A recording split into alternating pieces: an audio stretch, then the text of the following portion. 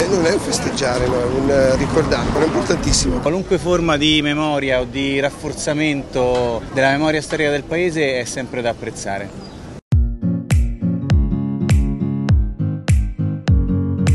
Secondo me è emozionante. 2 giugno. Sono orgoglioso di questa manifestazione. 2 giugno. Emoziona molto il tricolore. Sì, seguirò la parata. Ci riguarda.